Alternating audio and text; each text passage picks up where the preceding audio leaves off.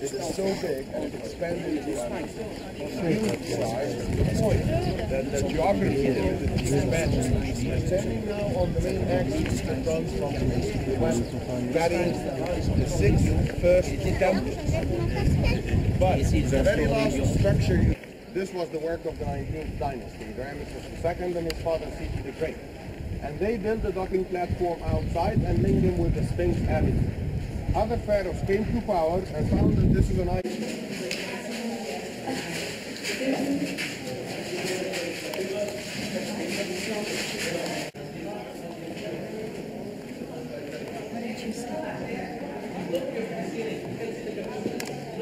So all you have to understand, everybody before the god wants to wear, wants to look their best, and wants to uh, Why did you go to the museum at night? And that's exactly what the pharaohs did in the museum. But see, we don't go to Luxor and we're gonna spend all. We gotta spend a whole another day so we can go to the meet Absolutely. Not on earth. Home and the guidebooks and people and even vendors in the street the word cartouche. And of course everybody is wondering what does cartouche mean? Cartouche it's a French word. It means shotgun cartridge. You know the shotgun cartridge? Click, boom. Okay, why is that?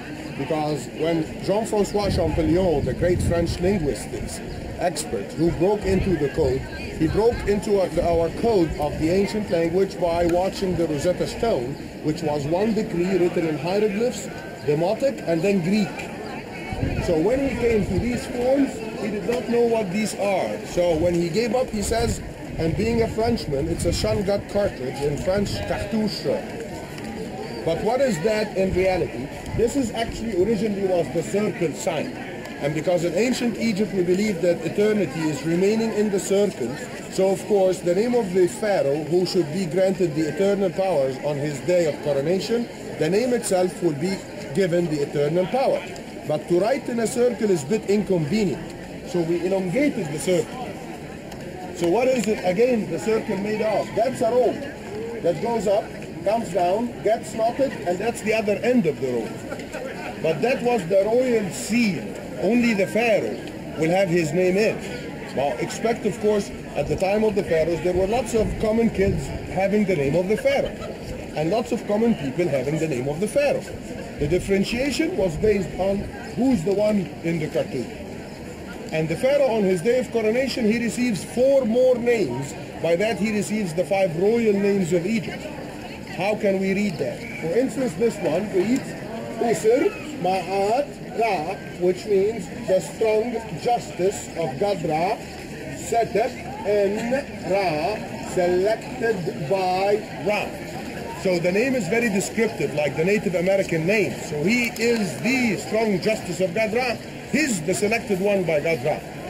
Then his other name, Ra Mes Nusu, which means God Ra, the solar disk that shines from the water. Ra Mes Nisu, like Mo, Mo SS. Ra Mes Nisu, Miri Imen. So it is God Ra that shines from the water.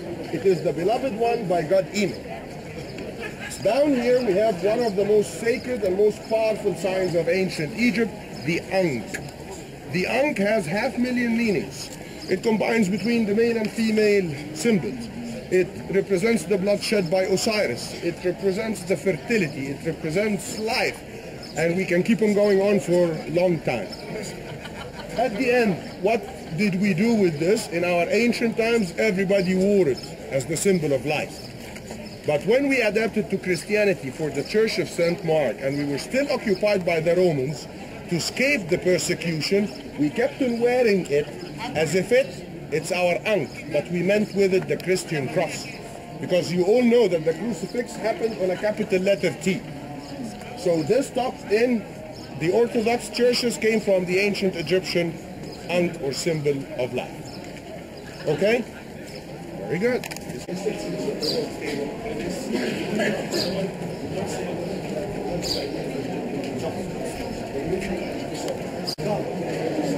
Now, we are all standing in what's known as the great or the ground hypostyle hole of Khan. Here, of course, the area looks normal, but actually it is far bigger than normal. For instance, the number of columns alone The center aisle is formed out of went up, and all of them had a roof, so there was a giant ceiling here one day. The difference in height between the center island and both sides, that's specifically for the windows. If you look up between the behind you, slabs about three feet thick of freestanding sandstone. The whole area, when it was found in our modern days by the French-Egyptian team, was mostly flat on the ground due to ancient earthquakes. It took us, the modern people, with all the equipment, 30 years to put it back together. In its original creation, it took a long time. Long plumes on top of his head. Now, look clearly at him. What does he has more than any other god you've seen?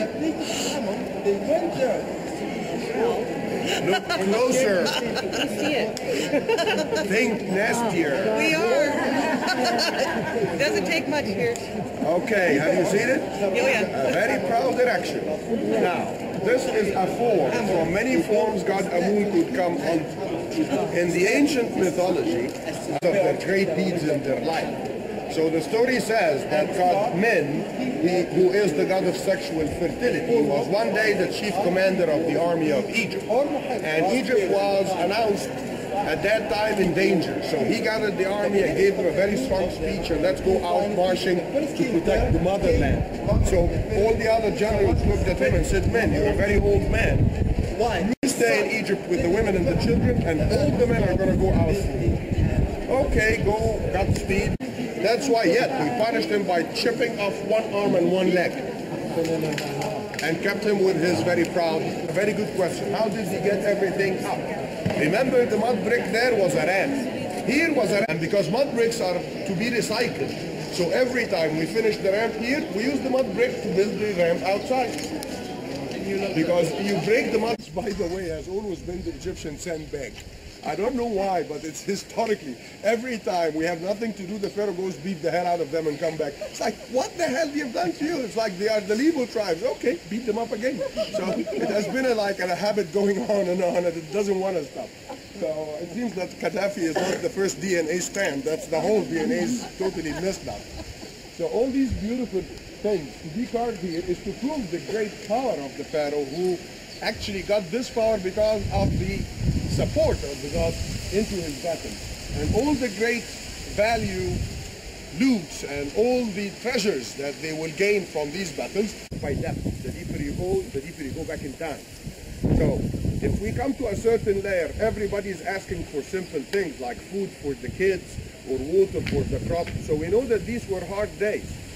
If we come to a times when everybody's asking for the extra, for the abundance, then we know that these are times of... We have a solar disk. And here, doesn't this look like the stinger of the bee? And that's a bee. This was a bee. A bee. Okay? This here, before it, there was another letter, which is the Nisut, or the Savannah reed. When we have the Savannah reed and the bee, so how to erect it? First of all, you have to understand that the obelisks don't come singletons. They have to be in pairs.